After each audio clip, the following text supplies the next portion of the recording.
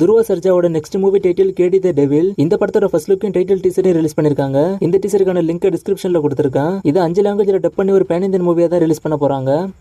சுந்தீப் கிஷனோட மைக்கேல் டீசரை ரிலீஸ் பண்ணிட்டாங்க. டீசர் பார்க்க செமையா இருக்கு. ஸ்டோரியை பெருசா ரிவீல் பண்ணாம சூப்பரா ஒரு டீசரை கட் பண்ணி கொடுத்துருக்காங்க.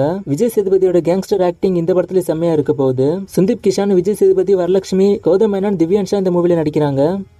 பத்துதல படத்துல சிம்போட டால்கி போர்ஷன்ஸே இப்போ முடிச்சிட்டாங்க.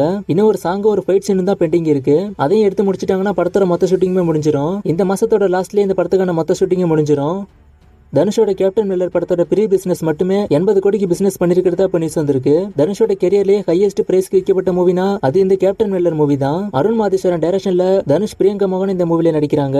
ஜிவி பிரகாஷ் மியூசிக் பண்றாரு. இது ஒரு பீரியட் ஆக்ஷன் மூவி கைதி டூவோட ஷூட்டிங்கும் அடுத்த வருஷத்தோட லாஸ்ட்ல ஸ்டார்ட் பண்ண போறதா? கார்த்தி ஏற்கனவே ஒரு இன்டர்வியூல சொல்லியிருந்தாரு. கார்த்தி போய் திரும்பவும் இதை கன்ஃபார்ம் பண்ணிருக்காரு. சோ ஏற்கனவே சொன்ன மாதிரி கைதி டூவோட ஷூட்டிங் அடுத்த வருஷத்தோட லாஸ்ட்ல ஸ்டார்ட் ஆகிரும். இந்த கைதி டூக்கான ரைட்டிங் ஒர்க்கும் ஒரு சைடு போயிட்டு இருக்கிறதா கார்த்தி அந்த இன்டர்வியூல சொல்லியிருக்காரு. So Thalapathy sixty seven Kaithi டூன்னு ரெண்டு படத்துக்கான ரைட்டிங் ஒர்க்குமே லோகேஷ் இப்ப பாத்துக்கிட்டு இருக்காரு போல.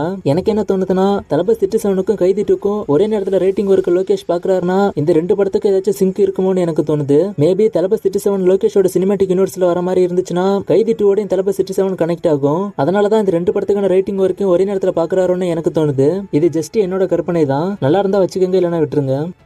சூர்யா ஃபார்ட்டி டூவோட அடுத்த ஸ்டெடியூல் ஷூட்டிங் அக்டோபர் இருபத்தி ஆறு ஸ்டார்ட் பண்றாங்க. சென்னையிலையும் பாண்டிச்சேரியிலும் தான் இந்த ஸ்டெடியூல் ஷூட்டிங் நடக்க போகுது. இருபதுல இருந்து முப்பது நாள் இந்த ஸ்டெடியூல் ஷூட்டிங் நடக்கும். இந்த ஸ்டெடியூல் ஷூட்டிங்கை முடிச்சுட்டு அடுத்த ஸ்டெடியூல் ஃபாரின்ல தான் போய் ஷூட் பண்ண போறாங்க. மொத்தமா மூணு கண்ட்ரீஸ்ல போய் ஷூட் பண்ண பிளான் பண்ணிருக்காங்க இந்த ஸ்டெடியூல் ஷூட்டிங் முடிஞ்சதும் அதெல்லாம் எந்தெந்த கண்ட்ரீஸ்னு தெரிய வரும். வாரிசு ஃபர்ஸ்ட் சிங்கிளுக்கான அனௌன்ஸ்மெண்ட் நாளைக்கு வரும்னு எல்லாம் எதிர்பார்க்குறாங்க. அனௌன்ஸ்மெண்ட் நாளைக்கு வரும்னு யாரும் கன்ஃபார்ம் பண்ணல. ஆனா நாளைக்கு அனௌன்ஸ்மெண்ட் வரதுக்கான சான்சஸ் இருக்கிறதா சொல்றாங்க.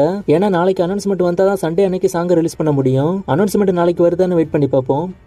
நாளைக்கு ரிலீஸ் ஆக போற பிரின்ஸ் படத்துல இருந்து ஒரு பன்னெண்டு நிமிஷத்தை இப்போ ரெண்டு டைம்ல குறைச்சிருக்காங்க ஸோ பிரின்ஸோட புது ரெண்டு டைம் ரெண்டு மணி நேரம் பதினோரு நிமிஷம். இதுல ஃபர்ஸ்ட் ஹாஃப் ஒரு மணி நேரம் ஏழு நிமிஷம். செகண்ட் ஹாஃப் ஒரு மணி நேரம் மூணு நிமிஷம். கார்த்தியோட சர்தார் ரெண்டு டைம் ரெண்டு மணி நேரம் நாற்பத்தி நாலு நிமிஷம். இதுல ஃபர்ஸ்ட் ஹாஃப் ஒரு மணி நேரம் பதினஞ்சு நிமிஷம். செகண்ட் ஹாஃப் ஒரு மணி நேரம் இருபத்தி எட்டு நிமிஷம்.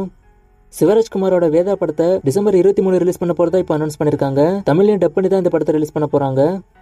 மம்முட்டியும் ஜோதிகாவும் சேர்ந்து நடிக்கிற காதல் படத்தோட ஷூட்டிங்கே இப்போ ஸ்டார்ட் பண்ணிட்டாங்க.